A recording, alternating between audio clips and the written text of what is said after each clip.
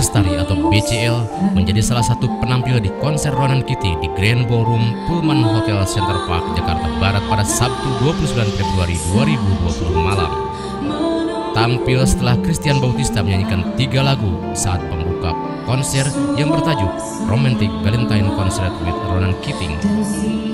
Sebelum turun panggung, penyanyi asal Filipina itu sempat mempersilahkan istri mendiang Ashraf Sinclair itu naik menemani dirinya membawakan lagu Tetaplah di Hatiku. Thank you Christian. Dia yang juga menguatkan saya di momen-momen yang masih membingungkan untuk saya, ucap BCL di atas panggung. Setelahnya BCL ambil alih panggung dan bercerita bahwa penampilannya akan beda kali ini. Ia tampak anggun dengan mengenakan gaun panjang hitam. Mungkin yang dilihat hari ini BCL dengan yang energi yang berbeda dari biasanya. Semoga tidak menjadi masalah ya, katanya. Dalam konser itu rupanya BCL juga ditemani putra sematawayangnya Noah Sinclair. Juga keluarga dan sejumlah teman-teman dekatnya. BCL terlihat tegar ketika tampil sebagai pembuka.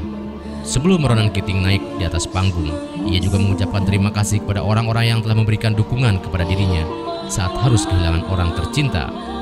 Ini untuk semua orang yang telah mendukung karir saya, keluarga saya, Noah, tim BCL, tutur BCL. Setelah BCL tampil, Ronan Keating tampil ke atas panggung sekitar pukul 21 waktu Indonesia Barat. Ia menghibur ribuan penggemarnya dengan membawakan sejumlah lagu hits miliknya.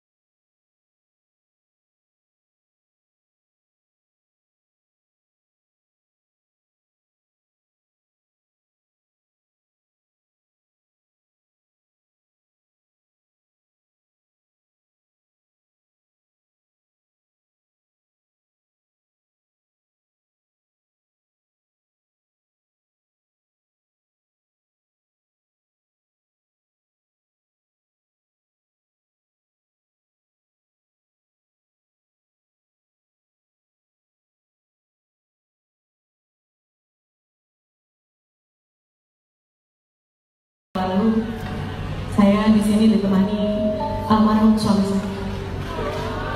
So this place ada special meaning buat saya, punya kenangan tersendiri buat saya. Dan saya juga mengusahakan keluarga saya juga ada di sini, ada adik saya, sepupu-sepupu saya, saya nggak tahu duduk di mana. Di mana ya?